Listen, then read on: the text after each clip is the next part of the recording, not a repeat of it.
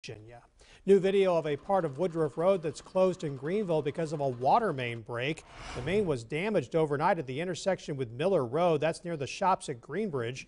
We're told the biggest problems were for eastbound drivers on Woodruff Road and some nearby businesses. Greenville water system expected repairs would be finished around noon.